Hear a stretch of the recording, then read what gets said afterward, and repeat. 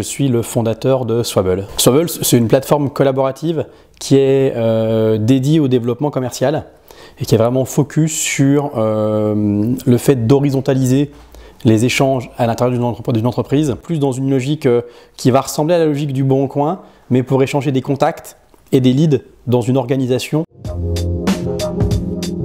On va accélérer sur le développement international.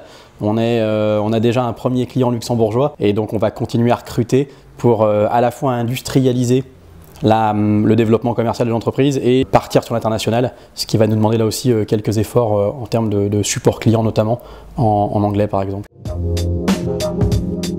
Je fais partie de, deux réseaux d'affaires. Next, qui est un réseau d'entrepreneurs générationnels que je co-préside avec, euh, avec Marie Bento, la fondatrice de Citizen Kid, et qu'on a fondé en 2010. Et, je suis euh, également adhérent au DCF, les directeurs commerciaux de France. Euh, là, par essence, par rapport à mon parcours et par rapport à ce que fait Swabble, il y avait une vraie logique à être, à être directeur commerciaux de France par rapport à, la solution et, et, à mon parcours personnel.